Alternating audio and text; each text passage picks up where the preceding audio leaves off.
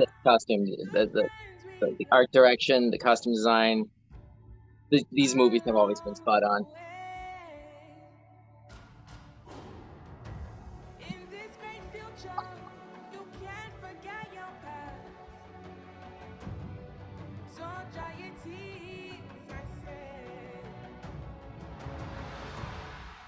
Wow, talk about water birth.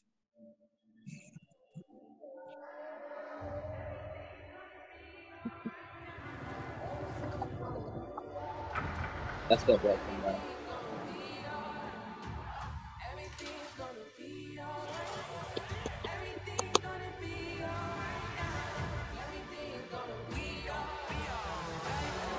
I think that's Riri Williams from uh, Ironheart.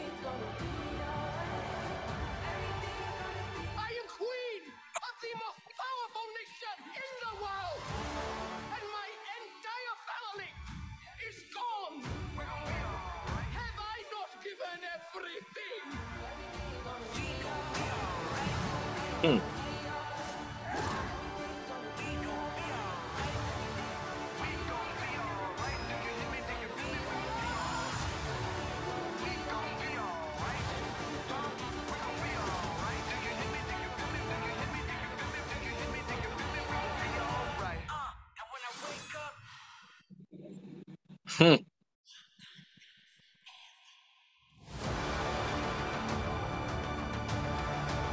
Man.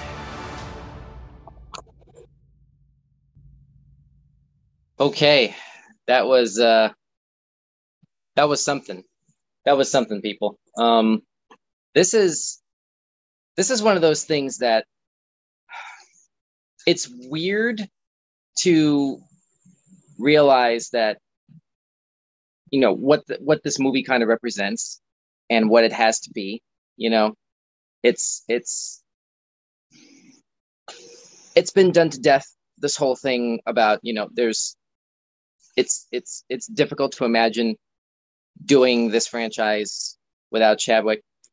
Um, we've been wondering for two years now what a follow-up or what any involvement of Wakanda in anything in the MCU was going to look like, just the tone of what that corner of the MCU is going to look like in the ad in the in the wake of losing Chadwick in uh, August of 2020, and it, it this is our first serious taste of it, and it did everything that it was supposed to do in terms of first and foremost reminding people that this is still happening Wakanda still exists.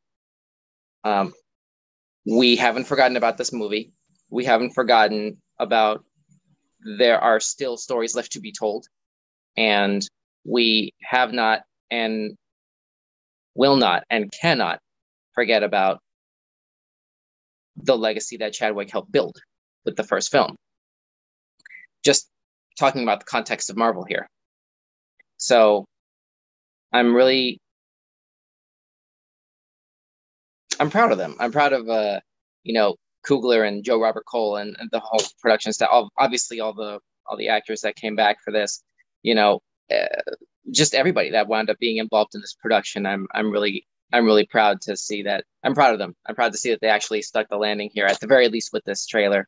Um, I'm really looking forward to this movie, and it really um, this this this is a strong. This is a very strong start to the show here. Um, I probably should have saved this one for last. um, but there you go. That was Black Panther Wakanda Forever, an amazing, amazing start to our trailer show tonight. Um, let me see. We have a comment. Staff ZX says, to be honest, I think they should have recast T'Challa. Ooh, controversial opinion. I know they want to respect the actor, which is beautiful, but there are so many stories left to tell for the character.